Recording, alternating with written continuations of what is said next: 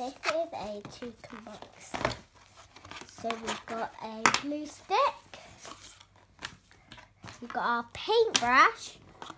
We've got our crayons. We've got our feathers, tea bag and, and stickers in that. In there. And then we've got our we've got our piece of paper. And we got a piece of cardboard here. And we got our letters. And we got a little book. What a little thing.